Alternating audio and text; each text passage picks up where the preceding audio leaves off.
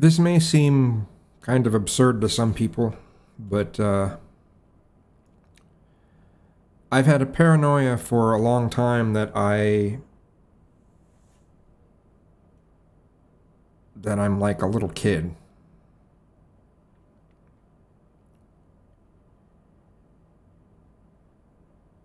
And it's why when someone, you know, basically says that I'm like a child, it, it really hurts.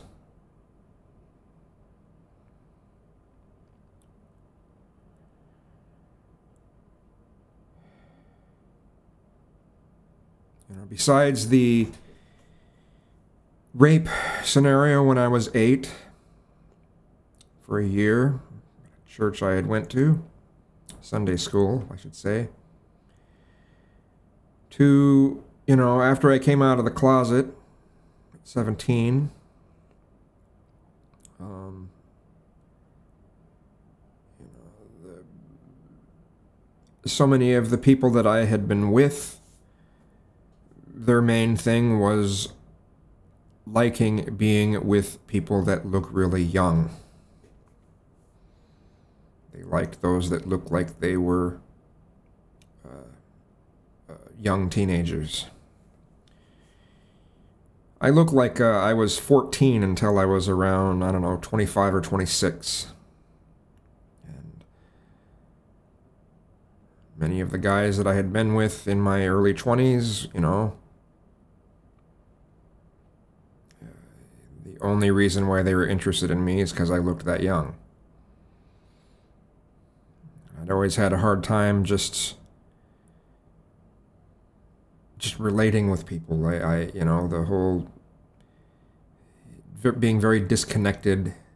Probably a lot of it has to do with the autism. Uh, really, it was rough, and I was always filled with panic and fear and anxiety.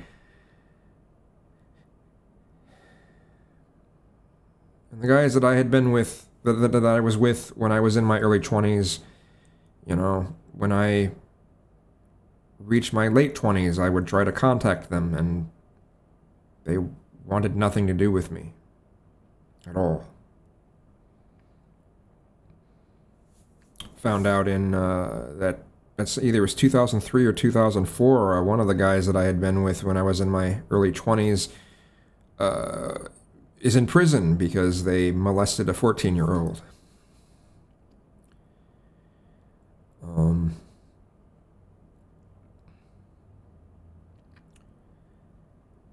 you know, and during the time that I, you know, was in the gay community, you know, very active in the gay community when I was in my 20s. You know, everything was about, oh, uh, you're so great because, you know, because you're, you look so young. Oh, that's such a great thing.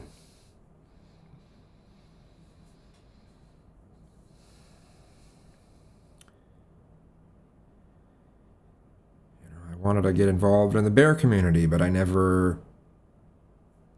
No one was interested in me in, in, until I, you know, reached some some point in my 30s, probably, uh, probably 32 or something like that, when uh, I finally, uh, you know, wasn't just looked at as a twink, you know.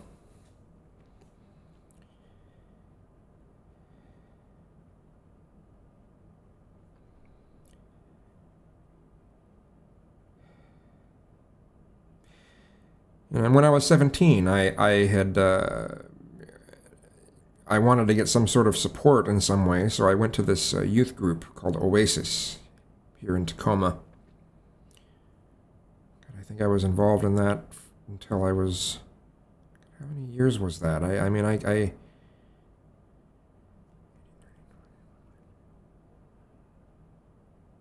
yeah, probably about five years. It was, uh, uh Started going there in 1990. Was probably 94, 95 when I, you know, really didn't go to it anymore. But on a constant basis, it was this uh, crammed down our throats. The whole, uh, uh, uh it was like a, a safe sex seminar almost every fucking meeting. You know? And yeah, that's important, but it it it kind of made me paranoid about sex.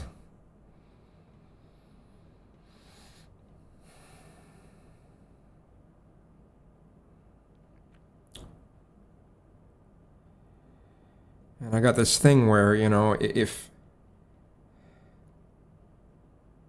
I'll explain that in, in a little bit. Um, in my early 20s, I had, I had tried to get more involved in the BDSM uh, community because I had so many of these, this anxiety revolving around sex. And, you know, a lot of that would help me get past that. You know, my, my mind, I, I would have so much other things that are in front of me, so much more stimulus, stimulus, stimuli, that you know I wouldn't have a chance to focus on being worried, paranoid, uh, anxious, and it would help. By the time I reached my early 30s, there so many people that I knew, they're telling me, no, you shouldn't be involved in the BDSM thing because it's going, it's going to just hurt you emotionally and mentally. And I just sort of believed them and just kind of, you know.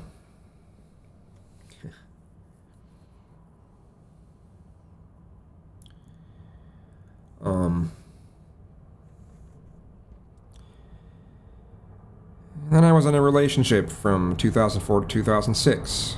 It, it was a pretty good relationship, except, you know, he would regularly come home several times a week with statements like, I just sucked off 20 guys. And I'm like, oh, okay, that makes me feel really good, I guess. And then near the end, uh, last uh, couple months, uh, he brought a third person into the relationship. Who was very abusive and uh,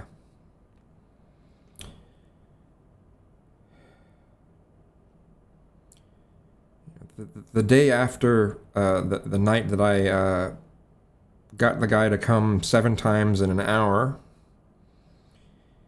he uh, I was just gonna go to hug him, and he tells me, "No, don't touch me." It would be like inappropriately touching a small child. And then he starts cramming NA down my throat because he didn't like the fact that I did weed.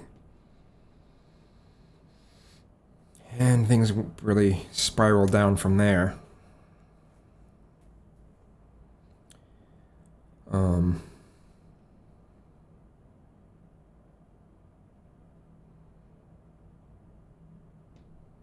But, uh...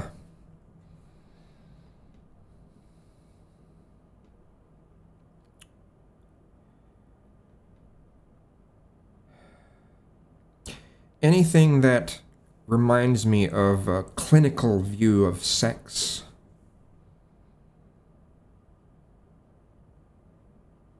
Makes me unable to enjoy it. I don't like bathhouses because it's just like, well, this is the designated place for you to have sex. It's designated. Here, look at all the posters all over all the walls with, with, with drag queens on them saying, better practice safe sex. Kind of stuff, you know? and I'll see that, and I think, and it makes me think of Oasis, how that would be crammed down our throats all the time. And uh, yeah, forget it. you know?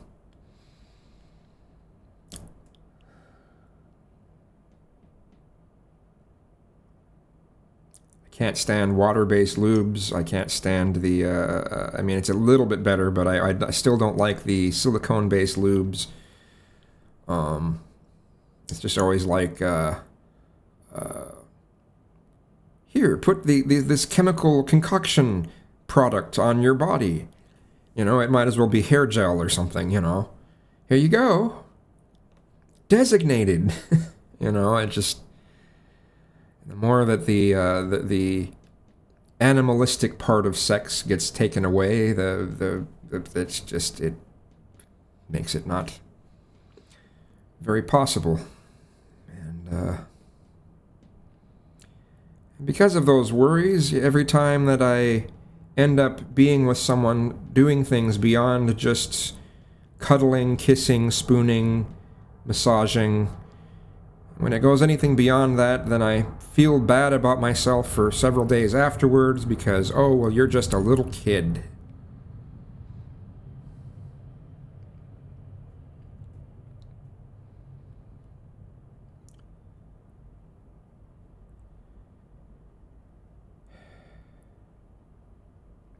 And I know there's parts of me that are still disconnected.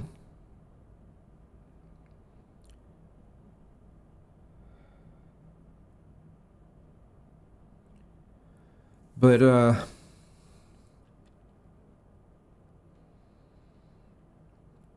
I don't know.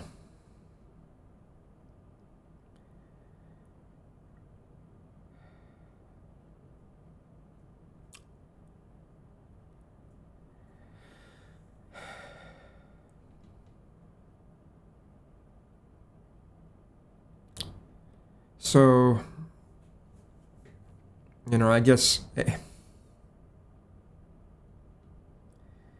and my mother still does this thing where she says, uh, uh, basically, she would do something awful. She did this just this last week. She'd do something awful if I ever start to act really feminine and if ever I act queenie.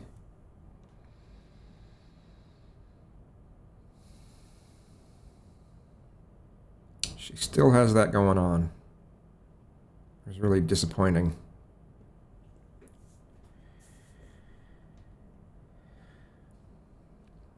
But I'm thankful for, to be able to help my mother out. I'm thankful that I have disability income, that I can pay rent. Um,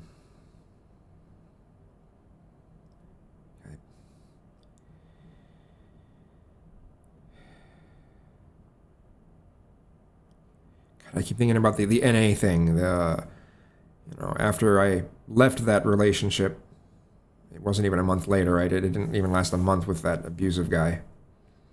Uh, 2006. Uh, for about two years, I was still trying to do the NA thing. It took five years after that to finally recover from it, and, and, and it was August 13th, 2013, at 8:50 p.m. that I finally got past that. You can watch the video from that period, right when the change, you know, 10 minutes after the change.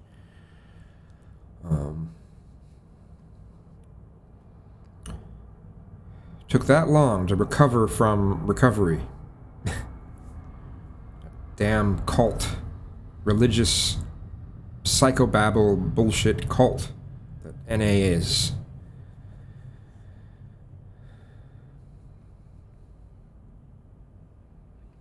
And then last year, I'm living with Tyler and the three meth addicts.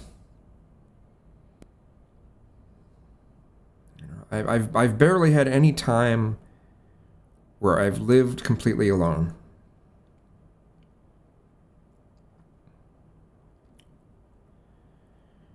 Barely at all.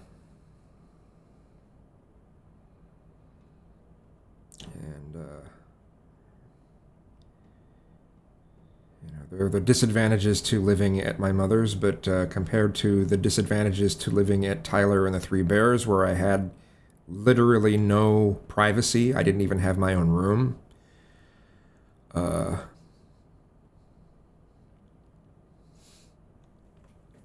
and then they absorbed most of my stuff. Go there with, you know, at least a decent amount of clothing, and I leave there with, you know, a couple pairs of pants, maybe three shirts. Most of my computer cords were gone, all that stuff, you know. And I tried to move to. Tried to figure out if there's a way to go to Bellingham and live there.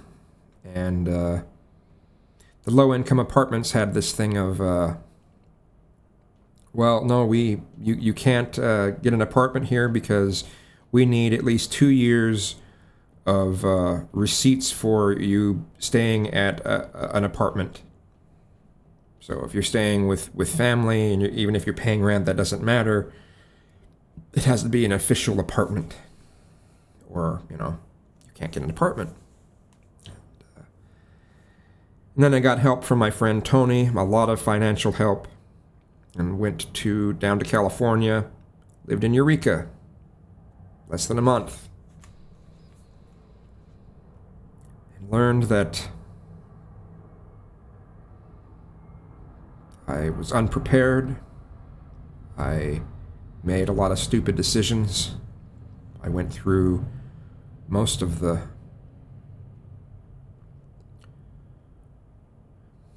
I went through all the money that I was given to for for help. I uh,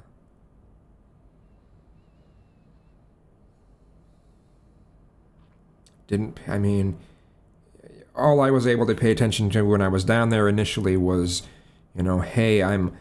I'm I'm away from, from this crap. I, I, I have my own place. But then all the stuff that uh, was in Eureka started to catch up crazy lady in the back, the crazy meth lady in the back who'd bring people over and say, I'm gonna bash a fucking faggot. And, uh,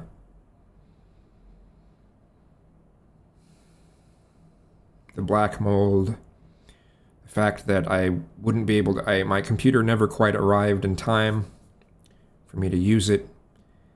And I wouldn't have been able to use it anyway, because the power would have just went out if I tried. Power was so shitty there. And then I, you know, came to find out the reason why there were so many of the kind of rough looking but friendly characters there is because uh, probably about 85% of the people that I would see as I'm walking down the street were homeless.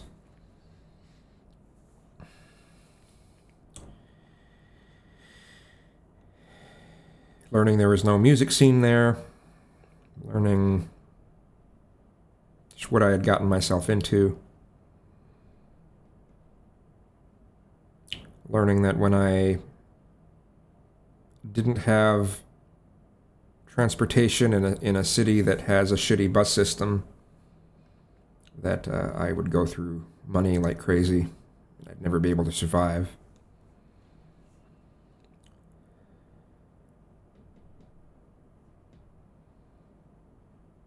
And then learning what it's like to live somewhere that I know nobody, and trying to make the best of that and try to really assert myself and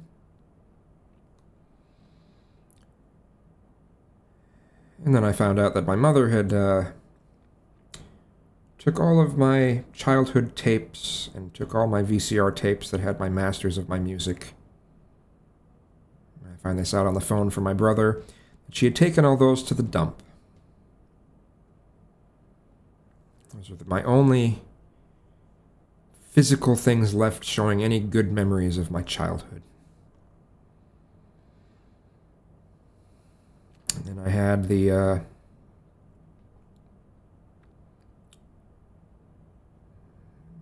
the epiphany where I was able to forgive everyone who had ever done me wrong. My mother, my abusive grandmother, Clay, the abusive person that was in the uh, relationship that I was in from 2004 to 2006, the person who came in at the end, uh, just anyone who had, had done me wrong, I was able to forgive in my head.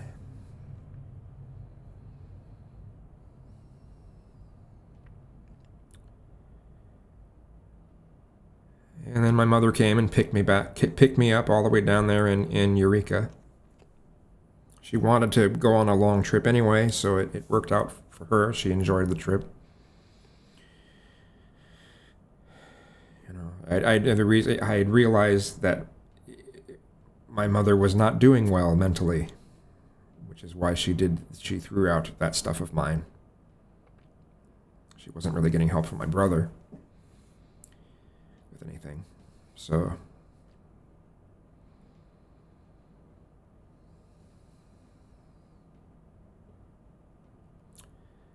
But, uh...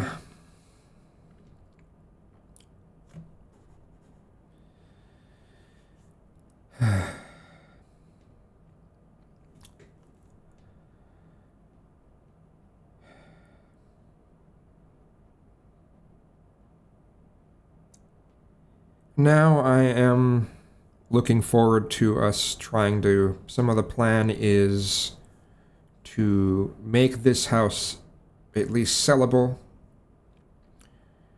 And when she's able to sell the house, she is. We're, we're considering trying to do something where uh, maybe we'd end up just being on, at a trailer court somewhere.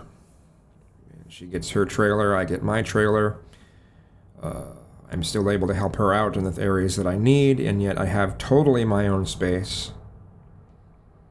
She wants to get a different vehicle, so I she would give me her old vehicle. Um, you know, ever since 2013 when I gave my brother my truck because he needed it more than I did. Because I would have my mother's vehicle that I could drive once, you know, when I needed it, and he didn't have anything, so I gave my truck to him. But anyway, uh, you know, there, there's there's hope for that sort of thing. But as I've been staying here, though, it's like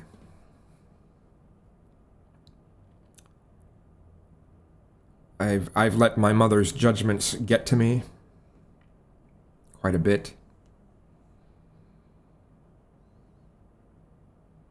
The way I look, the way that I act, things I find important. Lots of judgments. It's one of the reasons why it was such a difficult thing when I ended up having to cut this off because of the allergies to the dye.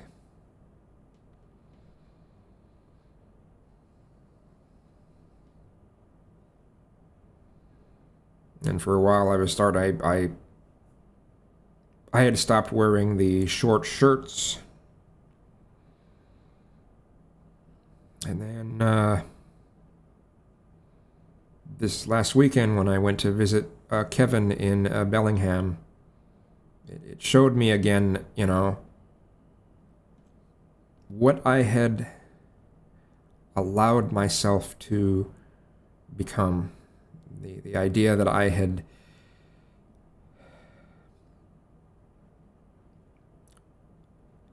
I was starting to let myself be manipulated into being what my mother wanted instead of just being myself and trying to help my mother as much as I can. And uh, it's just been a little bit of a struggle. And YouTube used to be what I would use to as as therapy. YouTube was my therapy. And it became more so when they they you know combined Google Plus with YouTube. And now that they've taken that away, it was just a huge blow to me using YouTube as therapy. It just really, really fucked with that pretty bad.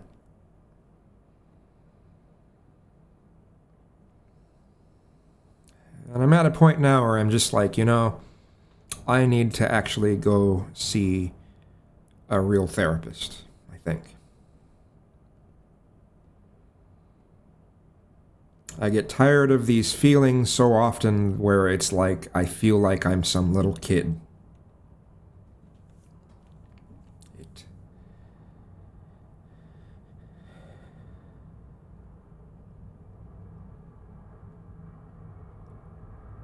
It It's why Paranor's statements about me cut me to the bone. Paranor 001 statements. He, I, I don't know if he has any idea how much those things that he said hurt me. I, I really don't know if he realizes how bad that hurts. And I know it's somebody that's online, and I shouldn't feel this way over someone that's online. But when people try to say that, you know, oh, online friendships are meaningless, oh, fuck you.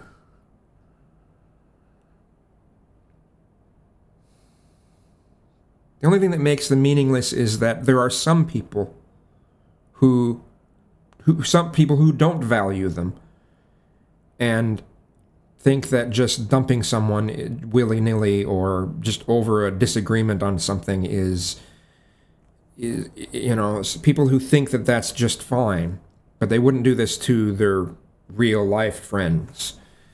You know? I considered Paranor a friend. I did. I considered him a friend. I thought he was a friend. Then there's the Dan situation, who was a real life friend. He was turned. He was turning into. A, I was considering him my best friend.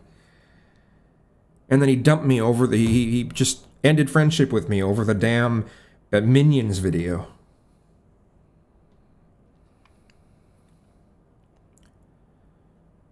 You know, and I've been finding myself scared to. You know, I, I get a bunch of, of people, you know, wanting to meet me through through Growlr and some other apps, and they want to meet me, and I chicken out. I figure, well, why would they want to know me? I'm just some little kid. You know. and I might say something that's just they're gonna just not want anything to do with me because I said the wrong phrase, I looked the wrong way, I did the wrong thing.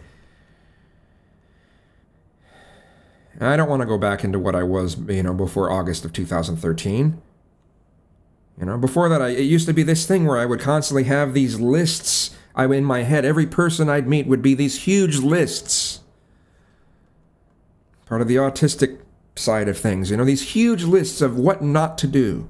Don't move your hand this way. Don't, when you say this word, don't be in this position. Don't, all these impossible, these things that are just almost impossible to remember, and just this, these huge lists. And every time, you, every time I would come up to someone that was, you know, they have this mindset. Oh, there's this, this, this list because this is typical of someone who has this mindset. Don't do these things. And so I'd get in a room full of a bunch of people, and it was like, you know, it would end up being potentially a million things of stuff not to do. I don't I do not want to go back to that again. No way. That was a miserable way to live. So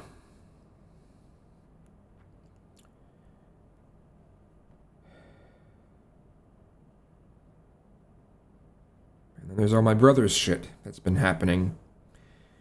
He's in the process of moving out of here. So at least my mother and I can live in somewhat peace. But it's taking forever. It seems like it's going to take him a, a, week to, to get his shit out of here.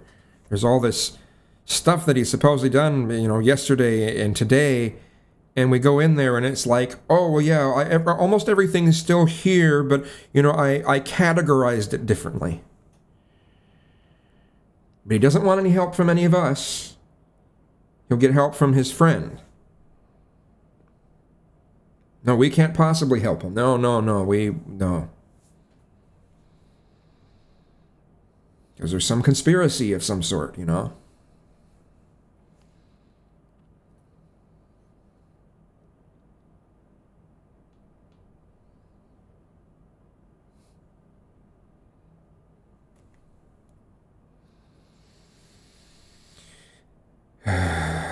anyway, um, this feels kind of good to have gotten this out. And, uh,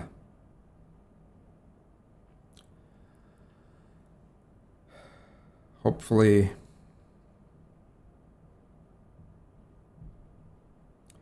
hopefully I can get some sort of therapist, though. You know, it's, it's, what worries me about therapists is, you know, am I going to run into one of these people who is, uh, who is basically really religious? You know, am, am I, if I look into the background, am I going to find, you know, all these names of places and then faith somewhere in there? Um, you know, is there going to be this religious judgment going on? Been one of the main things that stopped me from uh, getting involved, i trying trying to get a therapist in the first place. I just I don't want this religious judgment bullshit. I don't want someone who comes from a religious background and what the who what is going on in, in this.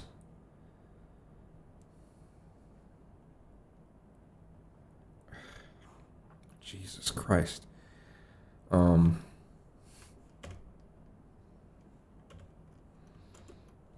uh, what I was going on, what I was saying that about is the all the the some hangout that's ended, and there's just a bunch of bullshit being said. So, um, but no, I I don't. So I just turned off the sound. Uh. I just don't want religious bullshit crammed down my throat. I, I don't want it.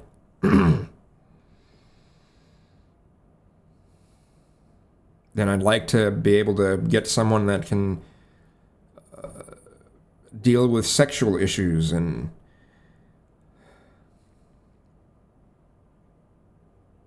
but uh, it's kind of uh, I, I have doubts that I'll be able to find that on Medicare and Medicaid. They'll probably want something else. I don't even know what, what I'm able to get when I'm on Medicare and Medicaid with this. I've got a lot of research to do. So, and you know, I'm I.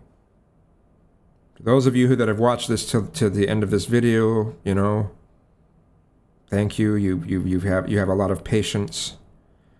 Um, this is definitely one of my most personal videos I've made. So.